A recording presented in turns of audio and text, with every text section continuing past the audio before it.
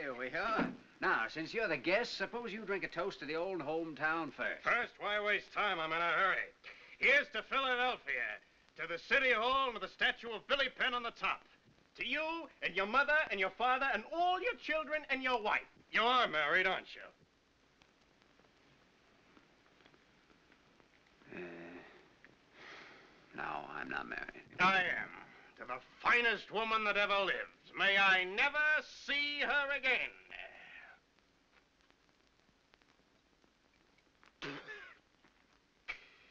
Pardon me while I break the neck of that street cleaner. He told me my elephants lied to him. Oh, too bad your mother and father went from Philadelphia. They weren't what? Well, an old man from Philadelphia ever left his parents out of a toast unless they were from uh, Camden, New Jersey. Oh, it's my mistake. I... Here's a toast to my mother and father, Claude and Imogene Cutler. Married 52 years come December.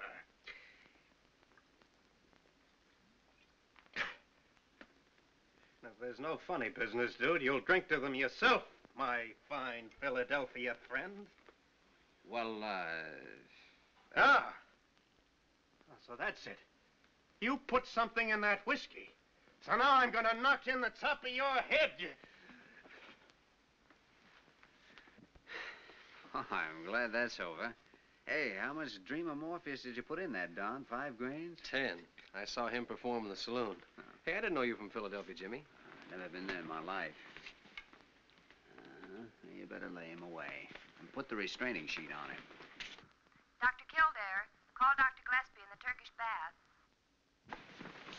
Well, Mr. Cutler, I thought when you're sober you wouldn't hurt a fly.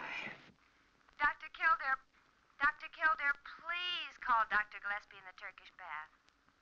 Well, there goes our little party. By no means. I'm going to ride the ambulance with you, and Dr. Gillespie can get someone else to wipe off his forehead. Come now, Dr. Gillespie. Please drink this. Maybe you should have some more heat, so your pores will be really good and open. Let that alone. My pores are so wide open now I can feel a draft on my liver. Get me a cigarette. No cigarettes, Mitchell.